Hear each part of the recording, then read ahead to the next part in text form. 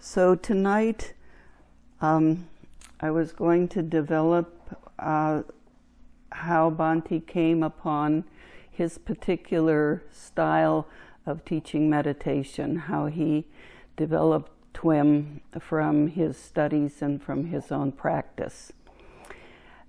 Some of the material I'm going to cover is going to be a repetition of what I said this morning.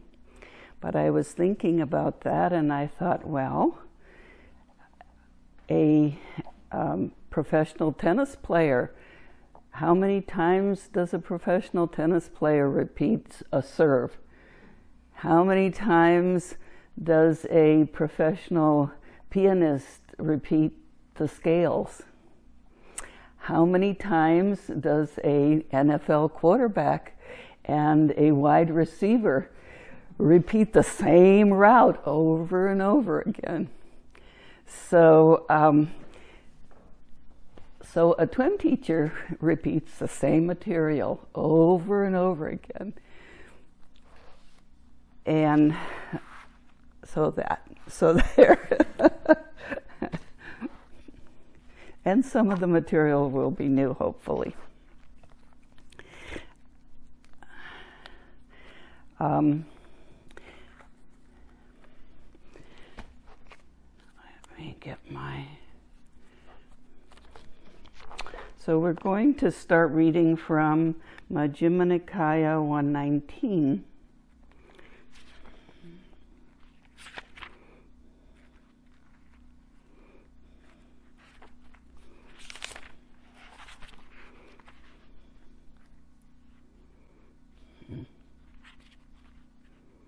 Okay. The Kaya, Kayagata Sati Sutta, mindfulness of the body. Thus have I heard on one occasion the Blessed One was living in Savatthi in Jeta's Grove, Anathapindika's Park. Now, a number of bhikkhus were sitting in the assembly hall where they had met together in returning from their alms round after their meal when this discussion arose. It is wonderful, friends. it is mar- marvelous how it has been said um, by the Blessed One, who knows and sees, accomplished and fully enlightened, that mindfulness of the body, when developed and cultivated, is of great fruit and great benefit. However, their discussion was interrupted, for the Blessed One rose from meditation when it was evening, went to the assembly hall and sat down on a seat made ready. Then he addressed the bhikkhus thus Bhikkhus, for what discussion are you sitting together here now? And what is your discussion that was interrupted? Here, Venerable Sir, we were sitting in the assembly hall where we had met together in returning from our alms round after our meal when this discussion arose among us. It is wonderful, friends. It is marvelous how it has been said by the Blessed One, who knows and sees, accomplished and fully enlightened, that mindfulness of the body, when developed and cultivated, is of great fruit and great benefit. This was our discussion, Venerable Sir, that was interrupted when the Blessed One arrived. And how, bhikkhus, is mindfulness of the body developed and cultivated so that it is of great fruit and great benefit?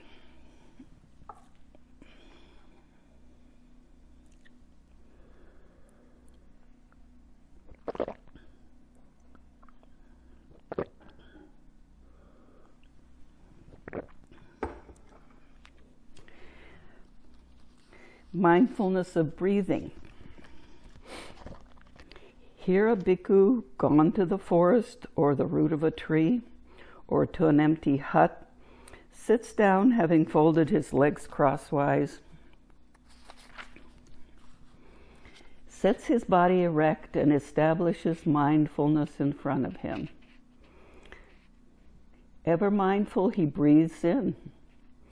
Mindful, he breathes out. Breathing in long, he understands I breathe in long, or breathing out short, he understands I breathe out short. I breathe in short or breathing out short, yeah, I repeated that. Um, he trains thus. And remember this morning I said whenever the suttas say trains, that means pay attention because this is a key to how you practice. He trains thus I shall breathe in, experiencing the whole body. He trains thus I shall breathe out, experiencing the whole body. He trains thus I shall breathe in, tranquilizing the bodily formations.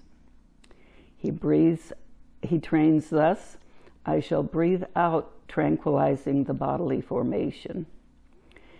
As he abides thus diligent, ardent, and resolute, his memories and intentions based on the household life are abandoned.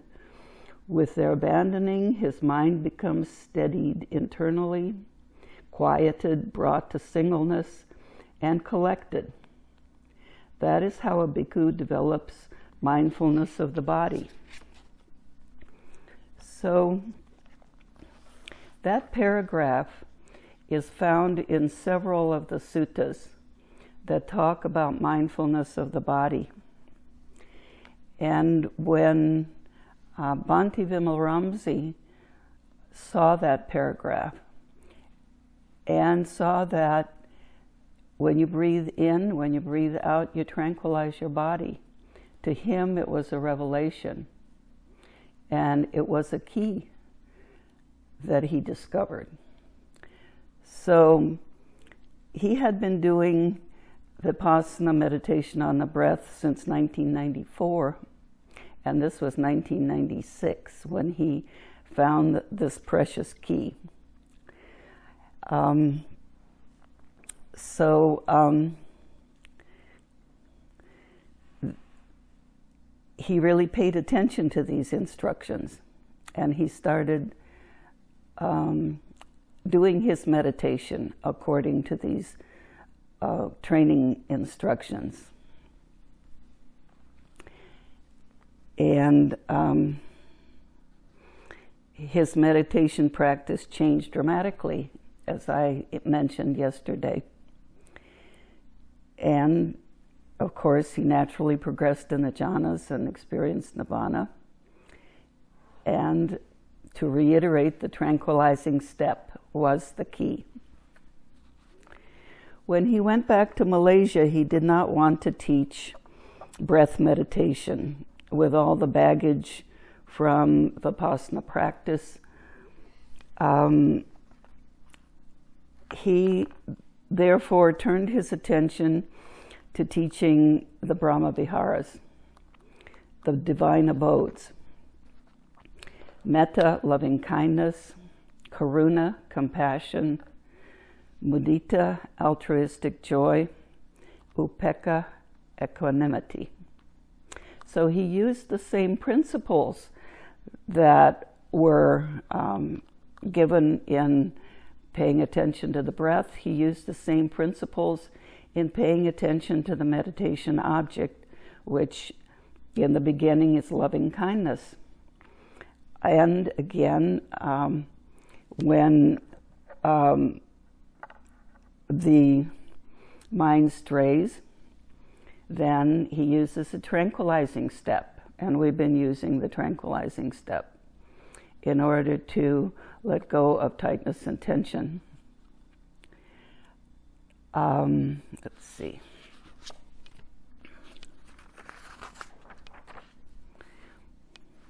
So then let's get back to the instructions once again.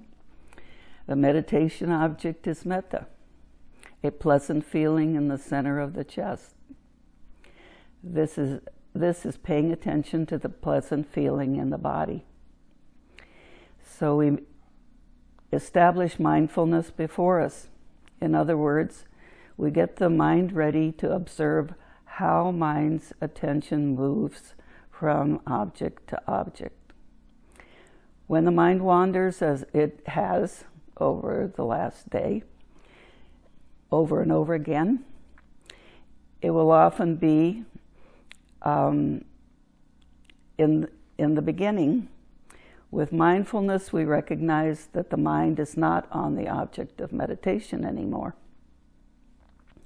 So we release our attention from the distraction fully. Then we grow, go through the tranquilizing step, relaxing the body, softening any tension or tightness in the head, noticing that when this happens, tension and tightness and pain in other parts of the body also loosens up. One will notice that when one releases tension um, over time, the body adjusts its posture and it becomes more relaxed. So, on a personal note, um, I wish I had known this tranquilizing step when I was doing my Vipassana meditation because um, oftentimes my body got very, very tense as I was following the breath. And often I struggled to push away the un- unpleasant bodily feelings. Periodically, I went into one pointed concentration just to get some relief. And as I had said, that wasn't a very fruitful practice for me. So then, after the relaxation step, we smile. Bhante discovered that smiling not only relaxes the face and head, but it is also uplifts the mind promotes joy and lightness in the mind. Now, with this wholesome, uplifted mind, we return our attention to the object of meditation, a wholesome state. In this case, loving kindness for our, our um, spiritual friend. We make a wish. May you be truly happy. Generate the pleasant, loving feeling in the heart space and keep the attention there as long as we can. So the mind will wander. And when the mind wanders by, with any distraction, a, no, a noise, an odor, a memory, a bodily feeling, we, we repeat the same process over and over and over again. The six R's recognize, release, relax, resmile, return, repeat, and let it just roll. So I will recapitulate in a different way. Using mindfulness, we recognize that mind has drifted from the object of meditation. Using right effort, we release attention on the distraction, tranquilize the bodily formations, relax and smile, bring up a wholesome state, metta. Cultivate collectedness, collect the mind on the object as long as we can. So, those are the last three folds of the Eightfold Path that I alluded to this morning. And that is the three folds of doing the meditation practice on the path. When Bhante came to realize with his direct knowledge, that is, doing deep meditation, and he recognized what the Buddha said in Sutta MN 149 these two things, serenity and insight, occur in him yoked evenly together. Serenity, collectedness, insight, mindfulness, yoked evenly together.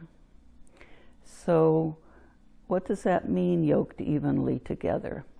That means that in the beginning you start with your mindfulness and you collect the mind, and it's rather superficial. There's a lot of static and a lot of noise. But you repeat that process, and as, the, as your meditation practice deepens, the mindfulness gets sharper, the collectedness gets deeper and more silent. And so these two features evenly are yoked together all the way to nirvana. This is a very unique perspective, I believe. Many other practices will do mindfulness now, uh, concentration now, and they don't yoke it together in the same fashion as TWIM. So I'm sure that the definitions for mindfulness and collectedness are deep in your awareness and in your memory. But mindfulness, remembering to observe how mind's attention moves from object to object, and collectedness, that even state, a state of balance, appropriate amount of energy in holding attention on the object of meditation. So let me turn to the suttas again to go over a description on the type of energy that we need to apply to our object of meditation. And that will be MN 128.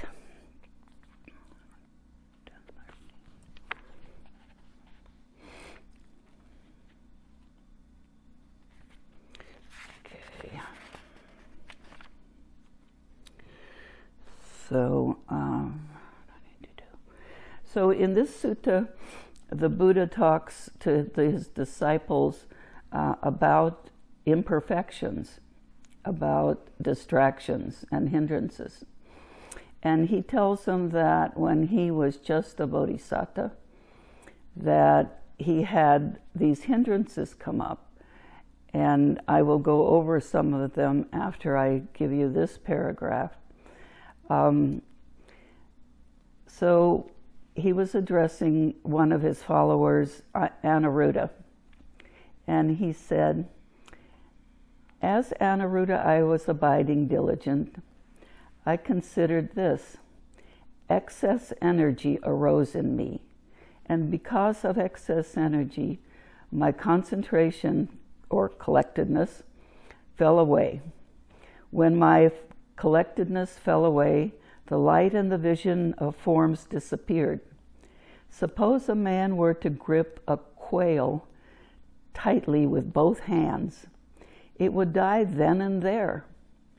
So too, an excess of energy arose in me. The light and the vision of forms disappeared. I considered this, I shall act that, in the future, excess of energy will not arise in me again. As Anuruddha, I was abiding diligent. I considered this. Deficiency of energy arose in me, and because of deficiency of energy, my collectedness fell away. When my collectedness fell away, the light and the vision of forms disappeared. Suppose a man were to grip a quail loosely, it would fly out of his hands. So too, a deficiency in energy arose in me, and light and the vision of forms disappeared. I considered thus, I will not um, have deficiency of energy, deficiency of energy will not arise in me again. Now that's easy for the Buddha to say, "Oh, I noticed this this um, distraction, and it will not arise in me again." um, so, yes. What does he mean by light and the vision of form? What did they mean by what? Light well, the light and the vision of forms is a very deep state of, of meditation. Um, and I really don't want to address that particular part right now, but we can talk about it in a little bit, okay? Um, the, the point that I wanted to make was about the energy. In the beginning, uh, the energy is all over the place. It's either too much or too little. And then as we get um, more deeply into our practice, the energy becomes more refined. And we have to remember to hold the object of meditation like we are holding a coil. Not too tight, because if it's too tight, then um, we'll go into one pointed concentration. And if it's too loose, then a dis- distraction will carry us away. So it's just the right amount to hold the, the object of meditation like a coil, very gently. Um,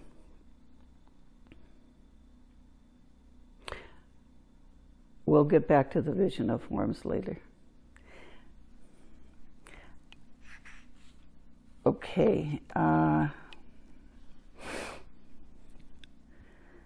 where are we? Okay, so then the um, list of, of um, hindrances that the Buddha had in this sutta were he did not have greed and hatred anymore because he was a bodhisattva at that time. So those uh, taints had been uh, overcome and extinguished. But he talked about doubt, inattention, sloth and torpor, fear, elation, excess energy and deficiency of energy, which is what I just uh, mentioned, longing, perception of diversity, and excess meditation upon forms. So those last two are quite deep in the meditation. We've gone over the basic five hindrances this morning. Uh, and let's see. I don't know if I really want to go over them again. With you might be tired of hearing about them. Um, say what? It's okay to do it again. Do it again. Okay. We will try another, uh, running another route. okay. I think that my flashlight is giving out.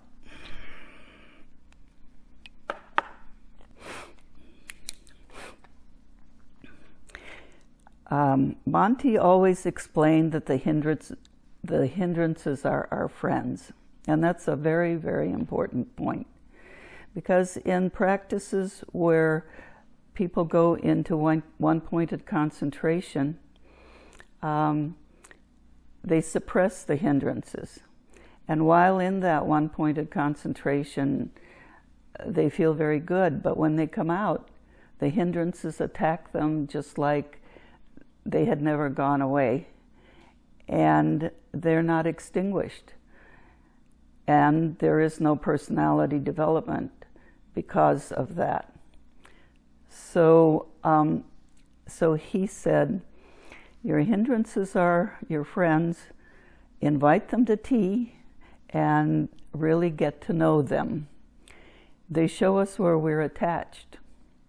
And the progress in the jhanas and the personality de- development depends on seeing and knowing these hindrances well over time and abandoning them.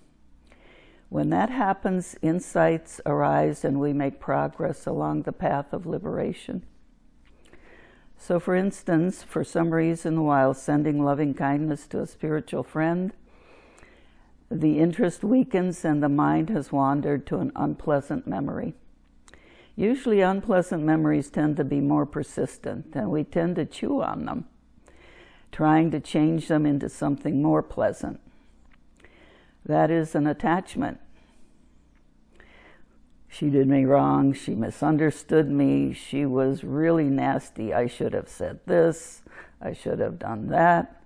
Bringing up the alternative scenarios starts to make the experience more pleasant. So, oops, the mind has wandered from the object of meditation. My attention has wandered from the present moment. What to do? And I think I lost all of my. where, is everything? Oh my goodness. Okay, here we are. Mindfulness has kicked in, and you recognize that the mind has wandered, and then you go through the six R's again. If the attachment to the memory is strong, you will repeat the process over and over again. The distraction will weaken, and eventually the mind will abandon it. When certain habits of thought are ingrained like a deep rut, the hindrance will arise again and again.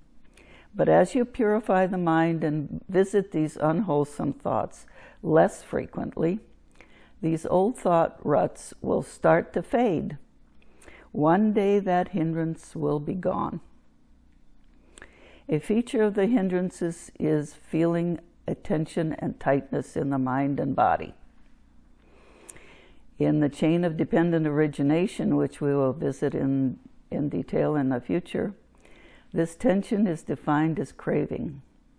Craving is the step that comes after feeling. Each contact of the sense doors, seeing, hearing, smelling, tasting, touching, and thinking, has a feeling.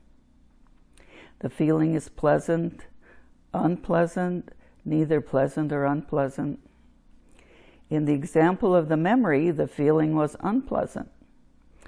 Right after feeling that feeling, we want to push it away. I want, I don't like that. There's tension and tightness that happens in the mind and body.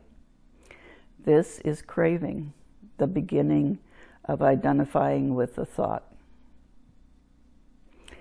How do we abandon that tension and tightness? We relax and soften and re smile. That is the only effective way of purifying the mind of unwholesome states. Suppression will not do the job. That is just like, if you're trying to suppress, that is just like whack a mole. You whack it down here and it pops up over there. So that gentle relaxing and releasing eventually washes that hindrance away. Sometimes we try too hard to do all these steps and we feel worn out. So, as I mentioned this morning, that is a good time to just laugh. the laughter releases the tightness and tension and promotes letting go of the attachment. So, as I mentioned uh, this morning, um, you can do your laughing meditation when you're going on your um, meditation walk. Um, okay. When you continue keeping your attention on a hindrance, you are feeding it and making it bigger. By the same token, when you keep your attention on the object of meditation, a wholesome state, you're feeding it and making it grow. So, what you do with what arises in the present moment dictates what arises in the future. So, when an unwholesome state arises, you do your six R's and you bring up a wholesome state. And so, you're, you're ignoring the unwholesome state by totally releasing that your attention on it and you're feeding the wholesome state. Don't blindly believe what I say. See it for yourself.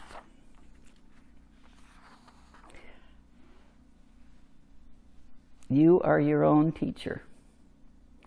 You are the one who really will investigate and know how your mind works, how the hindrances come into your mind, how you can let go of them, how you can develop the wholesome states, how you can purify your mind, how you can experience more happiness.